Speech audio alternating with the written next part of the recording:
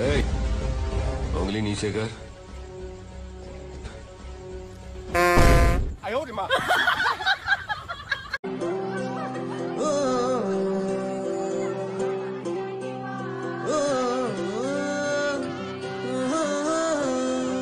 फिर चला उड़ के चौदह है जहानी च मैं तुम्हारे मुँह वाले अब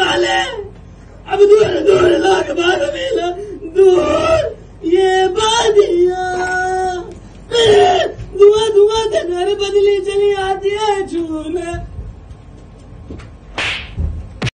अच्छा बताओ कि किसी लड़की को बिना छेड़छाड़ के, बिना परेशान किए, बिना उसका नंबर चुराए तुम उससे सेटिंग कैसे करोगे? मिस्टर माथुर आप इसे नीचा दिखाने के लिए जानबूझकर मुश्किल क्वेश्चन पूछ रहे हैं। स्कूल में सबसे पहले आकर उस लड़की का इंतज़ार करो। जब लंच हो जाए तो अपना खाना पीना छोड़कर उसकी क्लास के चक्कर काटो। छुट्टी होने पर उसके पीछे पीछे जाकर उसका घर देखो। फिर शाम को ट्यूशन का बंक मारकर उसकी गली के चक्कर काटो.